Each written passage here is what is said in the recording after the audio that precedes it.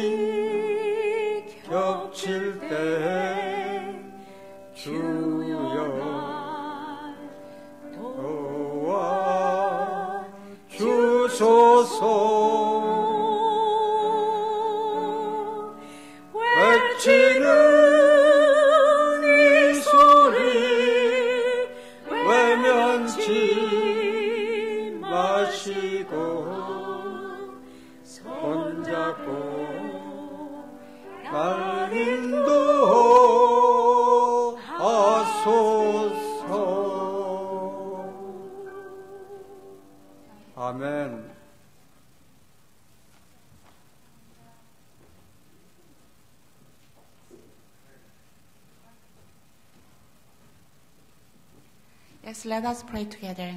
Dear God, thank you for your presence. Thank you for your guidance and this opportunity to worship you. Come, send the Holy Spirit to all of us and fill the Spirit. And let us praise and let us worship you, Lord. And we want to open our hearts to you. We want to open our ears to hear your words and bless the pastor Ken when he preaches and his family and bless this church to expand the kingdom of God through us and through all the people who comes in. Thank you for uh, the things you gave to us. We pray in your name. Amen. Amen. Today we have uh, Pastor Kim will preach for you. Special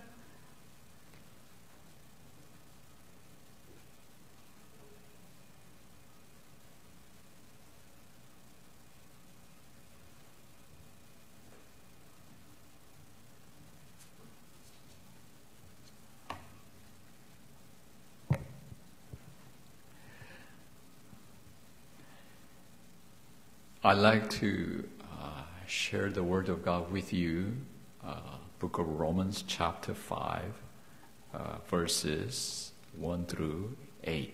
I'm going to read this to you, okay? Please open Book of Romans, chapter 5, verses 1 through 8.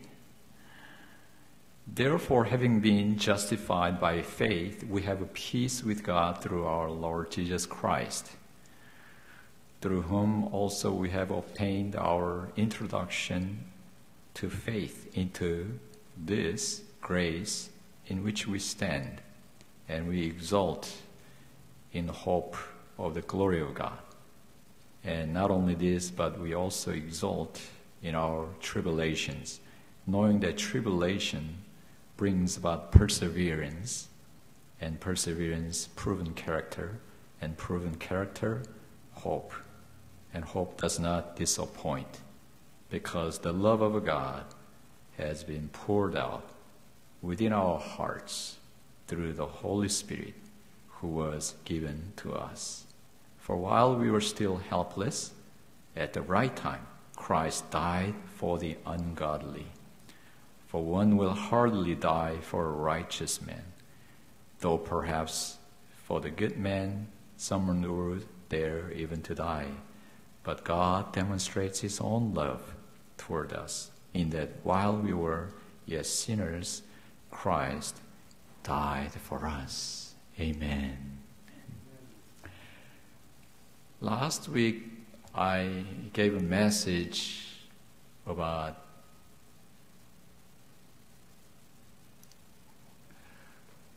the fact that uh, God has planned for us.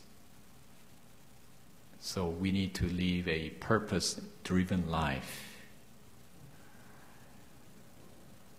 When we believed Jesus Christ is our Lord and Savior, we were justified by faith.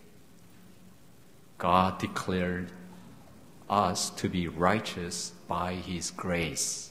As a result, we began to have a peace with God, as verse 1 said here.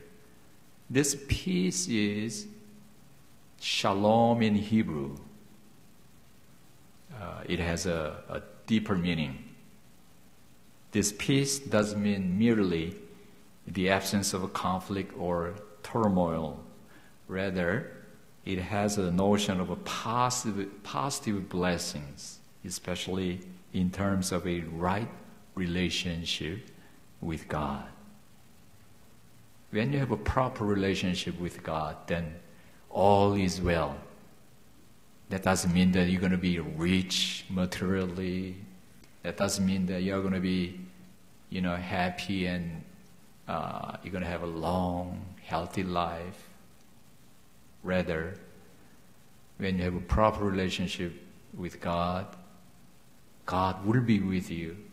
God will guide your life. God will protect you, and God will meet all the needs. Another result of being justified by God is that we rejoice in the hope of the glory of God. Verse 2 said here.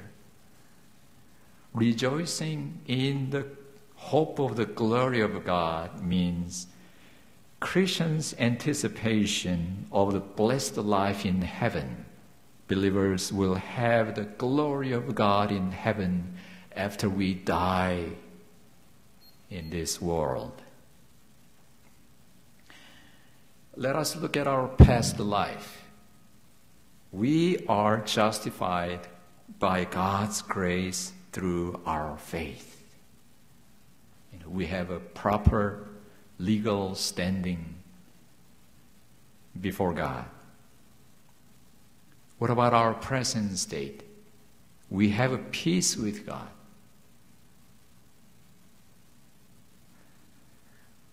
This peace, as mentioned, is not dependent on our external circumstances or our external situations. It comes from our right relationship with God. I hope all of you have that kind of peace in your heart. What about our future state?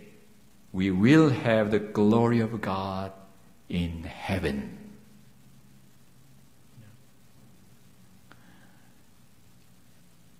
As we age, we think more about our death on earth and we anticipate the life in heaven. You know? Having a life in heaven means so much to us, especially those who are mourning in grief, sorrows, because of the lost ones. But heavenly life comforts us even when we lost our beloved ones because they are in heaven, you know. That truth, that fact really comforts us and gives us the hope that we will meet them in heaven, you know. This is the hope of glory that the Apostle Paul is talking about here. And not only this, but we also rejoice in our tribulations, knowing that the tribulation brings about perseverance. Now, Apostle Paul is talking about that our challenging life on earth. Tribulation means definitely suffering, pain. We have been suffering from various causes such as financial problems, various sicknesses, loss of loved ones. Sometimes we have problems with accidents, unexpected ones, and etc. Actually, human nature doesn't want to suffer. We want comfort, right? Yes. We want to be content. Actually, no one wants to suffer. In fact, Psalm 13, 1 through 3, this psalmist experienced the agonies, the sufferings, thus. Verse 1 says here, How long, O Lord, will you forget me forever? How long will hide your face from me? How long must I take counsel in my soul and have a sorrow in my heart all the way? How long shall my enemy be exalted over me? Here the enemy refers to those who hate us or who hate this psalmist. Consider and answer me, O Lord my God. Light up my eyes, lest I sleep the sleep of death. This psalm begins with a question, How long? You know, it repeated four times.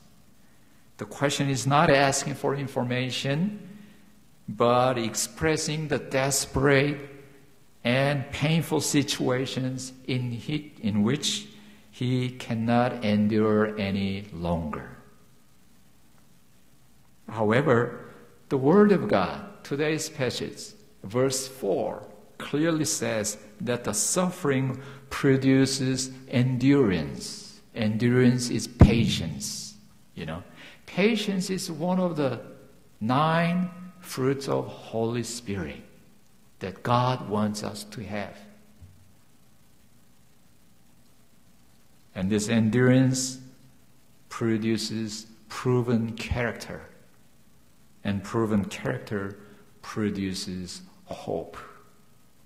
Here we have a hope again, you know. Hence, we should rejoice not only in future glory in heaven that we are going to inherit after we die on earth, but also in present trials and sufferings.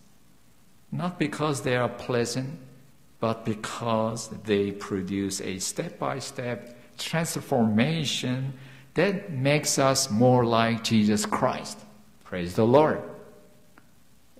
The purpose of our life on earth, as Romans chapter 8, verse 29 says, is to be conformed to the image of our Lord Jesus Christ. See, that is why the value system of this world is totally different from God's value system. God wants us to be like Jesus. That was the purpose of His creating us in His own image.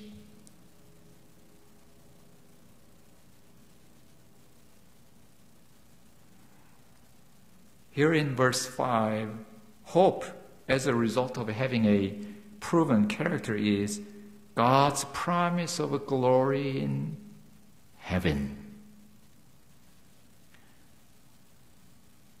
And the reason why this hope does not disappoint us is that God has poured out His love into our hearts. Verse 5 says here. And this love is poured out by the Holy Spirit, whom God has given us. I'm sure most of you experienced this love of God, huh? Haven't you experienced this love of God? When you experience the love of God, you cry, huh? You're touched by the hand of the Holy Spirit. Wow. God loves me so much. You know, although I'm like a wretch, you know.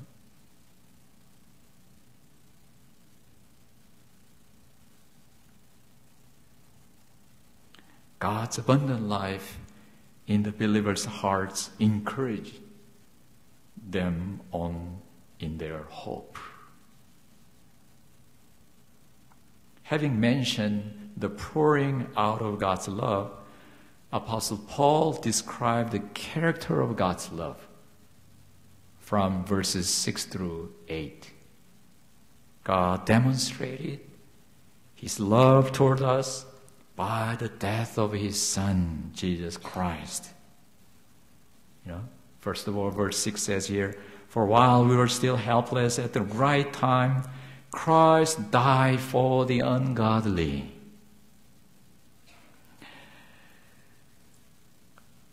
When I was uh, doing missionary work in Peru, in South America, you know, that is the place where Inca civilization started. Those Incan believed the sun as their god, and every year they offered virgin, you know, uh, lady or uh, children, the most precious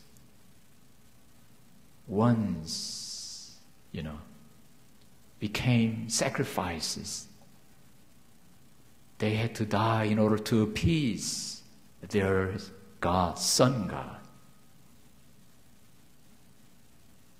But our God is the loving God. Although we turned our backs against Him, He came forward, reached out His hand, and grabbed us through our Lord Jesus Christ by sacrificing His own begotten Son, the most precious one for Him. What a love! although we deserve to die, you know, he loved so much. Bible says here, even though we were weak, helpless, ungodly, Christ died for us. Secondly, verse 8 says here, God demonstrates his own love toward us in that while we were yet sinners, Christ died for us. In spite of the fact that we were sinners, God loved us so much that Christ died for us. People, some people maybe are willing to die for the righteous ones but hardly for the sinners or ungodly people. But God, as a creator, to save creatures, sacrificed his own son, Jesus Christ, to save us. Because of this love, we can have unshakable hope in the Lord. Because from past, we were justified in present life. We have a peace with God. That means we have a right relationship with God and we are receiving blessings, His grace, day in and day out. And in the future, yes, we will anticipate the glory in heaven. We are going to become co heirs with our Lord Jesus Christ because we became a children of God. Praise the Lord. That is why, you know, we can, we should have unshakable hope every day of our lives. Amen. Yes. It doesn't matter whether you are poor or whether you're sick. I am poor, man. We are poor. My family is poor. You know what? We receive food stamps from the government. And yet, that doesn't deter us from having a hope on earth. It could be part of our tribulations, suffering, but that suffering will produce us perseverance. The endurance will prove, produce us the proven character. The proven character will again and again, more and more, the hope of the glory of God in heaven. Praise the Lord. See? So even suffering on earth will point us toward the heavenly glory that we are going to have in the end. Praise the Lord. That is why we can have unshakable hope in the Lord.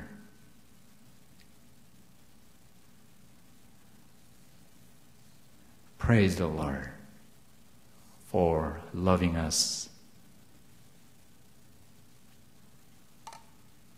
and giving us peace and also giving us unshakable hope.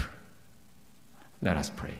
Dear Heavenly Father, thank you so much for blessing us, Lord. We are justified by faith of our Lord Jesus Christ.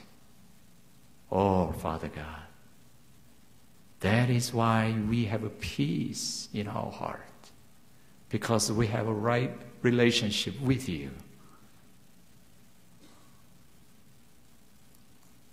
Oh, Father God, thank you for giving us unshakable hope, the hope of the glorious life after this life, Lord, in heaven, Lord, forever, as your children and as co heirs with Jesus Christ, Lord. Oh, Father God, thank you for blessing us. I pray for your guidance, protection, Lord, unto each and every one of us here, Lord. And I pray for the fulfillment of the plan that you have for each and every one of us here, Lord, that we may be like Jesus and we may live in accordance with your will, Lord, with thanksgiving. Bless each and every one of us continually, Lord. We praise you and we honor your name. We thank you again. And I pray in Jesus' name. Amen.